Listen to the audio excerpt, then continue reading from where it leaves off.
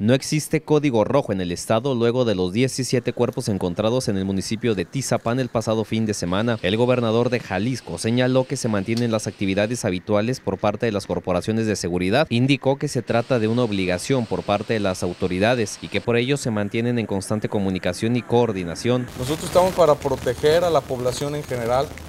Eh, seguimos en eso y bueno, pues esperando que los delincuentes entiendan que el camino fuera de la ley a lo que lleva es a la cárcel o a la muerte.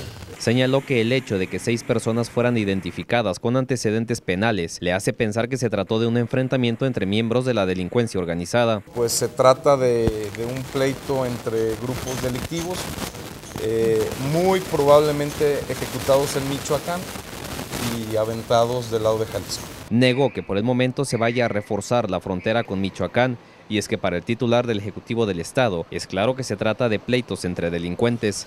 Para Milenio Televisión, Alfredo Toledo.